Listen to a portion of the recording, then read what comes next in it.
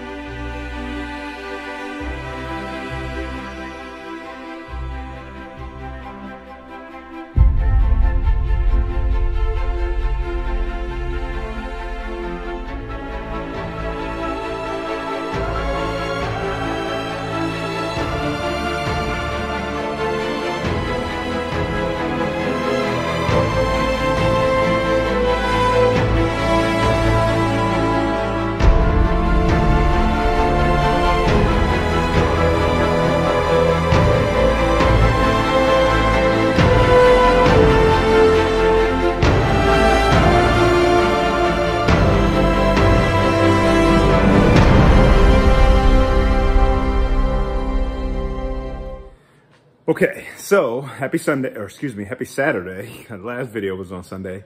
Um, let me, before we get into supplements, let me tell you guys some of what I've been eating to give you an idea. Now, if you want to, I'm not going to obviously tailor a program, but I'm saying if you like some of these things and maybe they're not incorporated in your nutrition plan, then maybe try those. Um, because the one thing is you really want to maximize your protein intake for one, because the goal is to build muscle. So the more muscle you have, the more your body is going to operate to burn fat, even when you're at rest. So, okay, so my protein sources, um, what I do with my fish, okay, so I have tilapia set up here, and um, typically I stick with pretty much fish, ground turkey, ground chicken, and every once in a while, I may sprinkle in a little bit of ground beef, 96%, 4, 4% lean, and eggs. So, and whole eggs, not just like egg whites, because you do need the yolk. You need some of those healthy fats in the yolk. So you do have to remember to keep some of the yolks in there. You can still mix in egg whites if you want, but don't forget to do the, the uh, yolks. And as you can see with my tilapia, and this is what I typically do with all my fish, I usually go with tilapia, which is a bottom feeder, I know, but it is cheaper. Um, I also use salmon, which I have some of that in the freezer. I also use uh, sometimes cod, I do swai fish, and sometimes catfish. So you have a wide range that you can pick from when it comes to fish, but I like to blacken mine. So if you don't have these items, these items here, to blacken your fish, it it's one of those things where you won't have to worry about seasoning your food because one of the things as a competitor that that I try to make sure I monitor a little bit is sodium intake. So in order to minimize some of that is to pre-season. That eliminates you seasoning when it's time to eat the food. You know, foods can be a little bit bland, especially for a competitor. So it's good to find things like I do, I, I do use a lot of uh, Mrs. Dash and I try to mix it up and use like different different flavors of Mrs. Dash just to reduce down some of my sodium, but yet it eliminates the food from being so dry and so bland. Uh, now this is just one step. Another thing that I use is asparagus because uh, I, I do a lot of low carbs. For, for my heavier carbs, I'll stick with like jasmine rice. And let me show you guys some of this. So that way at least you have an idea. But Okay, so in my pantry, you know, I have tuna, I have um, I have potatoes, and, and, and everything's usually microwavable, and it's just because I like to be, I like to keep things portable. So I have these red potatoes, and then I have the jasmine rice, and I also have, if I can find one of those, it figures I should have been more prepared. I should have set this stuff out so you guys could so you could already see. But this is the other one, the uh, quinoa and brown rice. And I try to just kind of mix those in. Now you're looking at about 45 to 50 grams of carbs per serving. So one of those cups. And then I also like to use oatmeal, but I do the steel cut oatmeal and you can go either way. You can get that instant or you can do the, the full route depending on what you want. Okay, so I'm gonna pull out one of these other things because this is a key supplement as I'm now, you know, a lot closer to the show. I'm a little bit over a month out.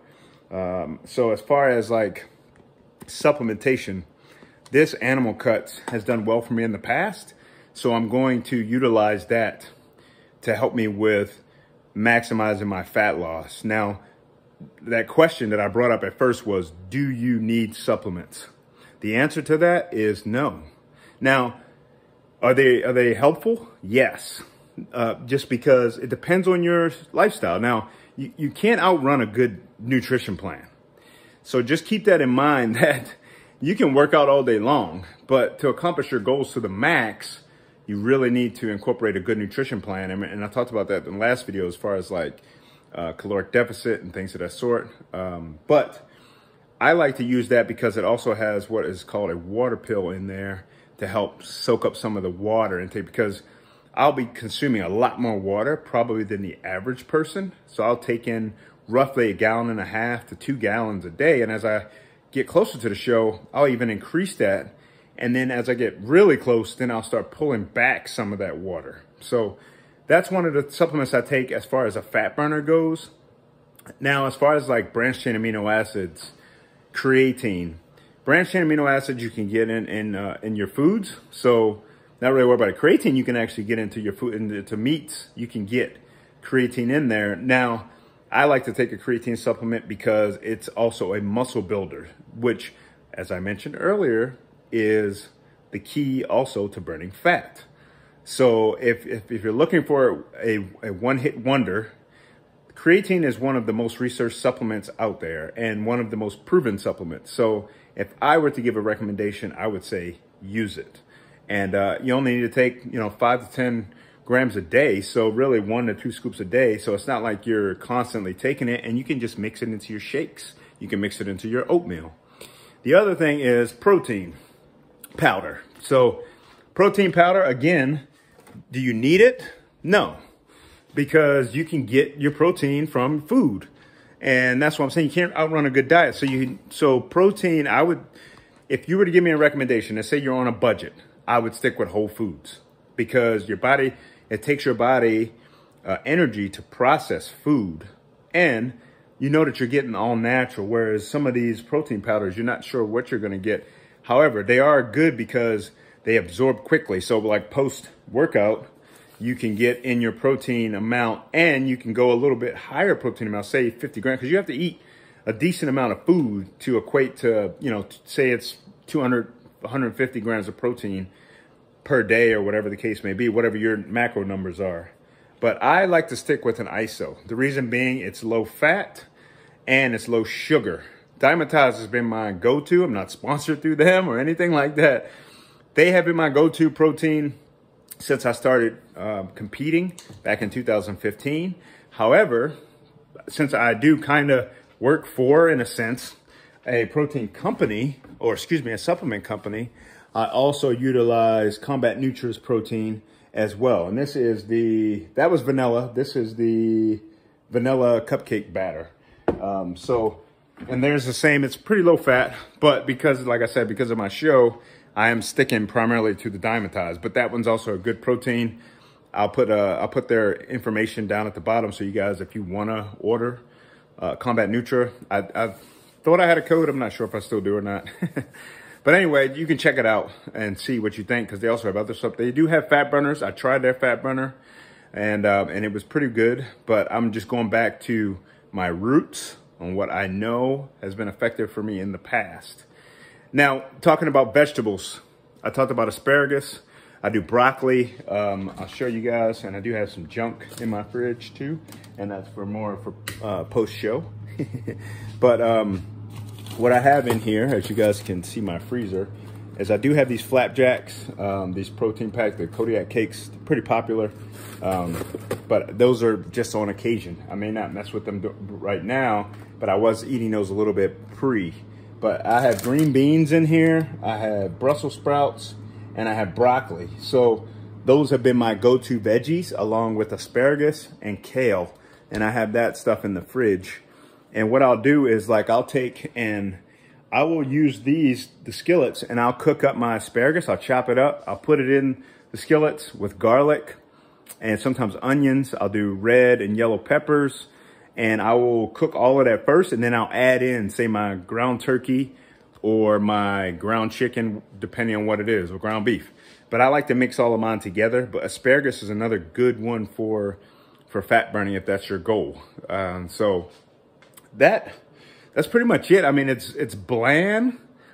It's the same things for me, but that's only because it's easier for me to keep track of what I'm eating if I stick with the same foods. And I actually enjoy them. Like by blackening my fish and by adding in like garlic and some of those Mrs. Dash seasonings to my food when I cook it, it eliminates, you know, me trying to like get a craving for fast food or things of that sort. So you want to keep it simple. You want to keep it to something that you can stay with. Remember, we talked about consistency in the previous video.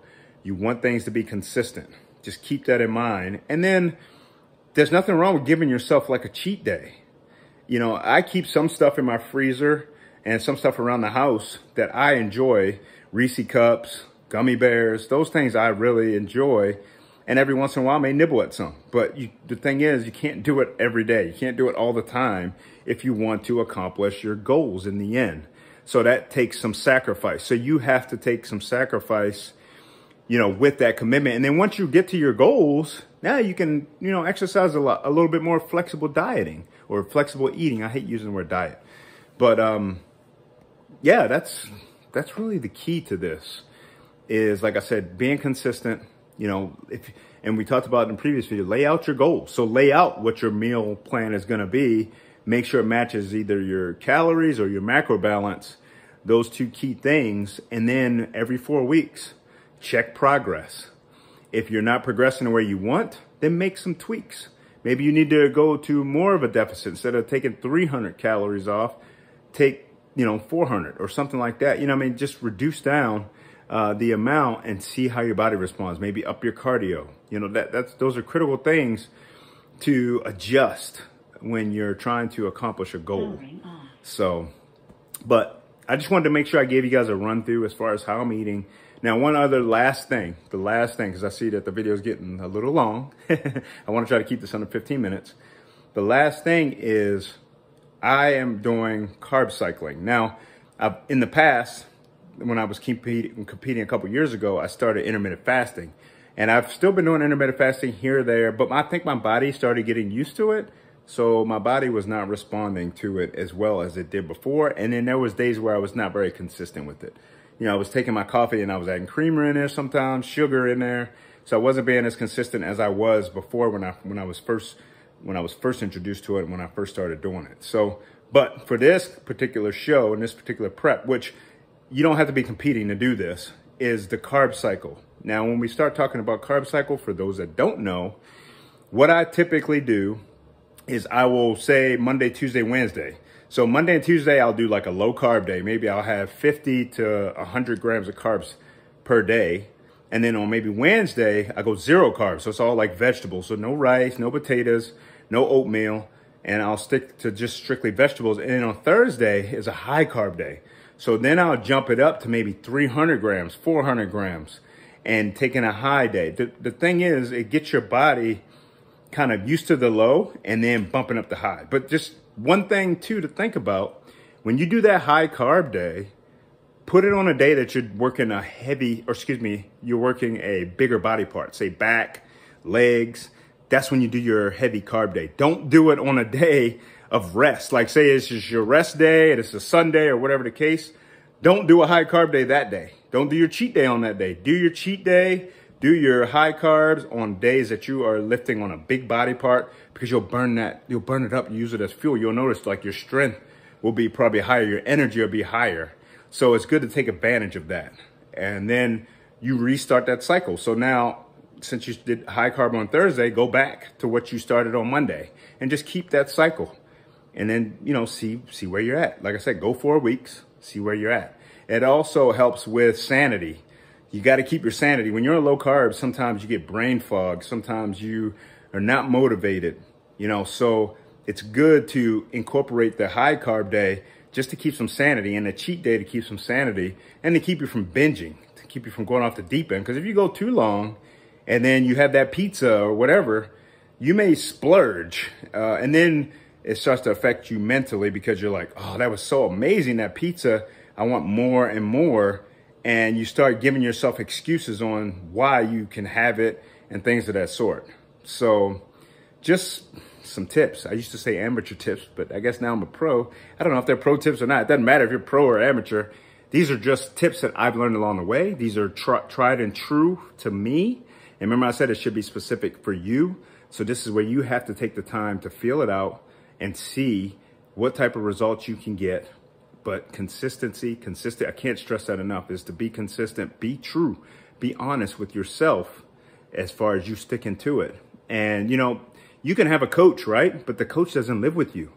So the coach can give you a meal plan and things of that sort. I'm not knocking any coaches. By all means, if you can afford to have one, do it. Because it's also giving you someone that also is going to hold you accountable. Or if you have a spouse or husband, or excuse me, boyfriend and girlfriend, they can hold you accountable.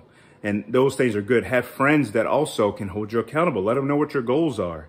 And they can ask you about it. You know, true friends will ask, how's your training going? How's your nutrition going? Blah, blah, blah we all need that, okay? So, all right, I don't want to take this video too long. Thank you guys for joining me. I said I want to be more consistent, and I hope that some of these tips helped you guys so you can see. And I will continue to get more content out there. Hopefully I can get some more workout stuff outside of just like abs and cardio, obviously. And um, if you guys have any questions or any comments or anything like that, please feel free to add, subscribe, share, all of that stuff hit me on Instagram. My Instagram is D00D0060 and hit me in the DMs, whatever the case may be. My, my um, page is open, not private. And I will definitely, um, you know, respond with the best that I, and if I don't know the answer, then I will direct you to somewhere that can help you with the answer. Um, or I'll research it myself. So, but have an amazing Saturday. Have a great weekend. Stay safe. Be humble. Be optimistic. Stay positive. and uh, I will see you guys in the next video. Peace. All right, fam. Uh, one thing that I forgot real quick. I know I closed the video out, but I'm going to reopen it uh, because it's my channel. but anyway, I totally forgot, which is super important, is fats. Make sure that you get in good fats. Now, I typically go with just avocados. Uh, and the reason why I say that is because on those low carb days when I talked about the brain fog and things of that sort, one thing that you can do, which is a good thing to do, is to throw in fats to make up for the low carbs because you're, you still need some energy to, you know, to function and your body needs carbs to function. So that's why you never want to like completely go no carbs, but it's good to mac, uh, to mix in the fats. So what I typically do is I'll take my avocado and I will cut it up. I'll either put it in shakes or I will cut up and put into my meals. And, um, and I also do a lot of nuts. I do pistachios, cashews, almonds, and I'll, I'll, take little snack packs of those. And sometimes I'll munch on those a little bit, um, just to, like I said, compensate for the low carbs. So just another thing, I, I didn't, I did not want to leave this video without mentioning that because it's so important. I know I talked about it for the eggs, but it's super, super important that you guys get the fats in and keep the fats at a pretty decent level to, to, to balance out for the low carbs. So thank you again. And uh, again, we will uh, catch up in the next video. Thank you. Peace.